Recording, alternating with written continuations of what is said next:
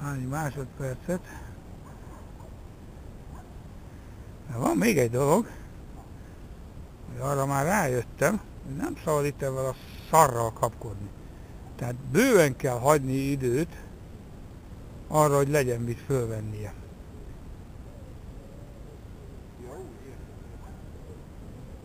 Mert az ember hajlamos arra, hogy ugye videózik, és akkor kapkod.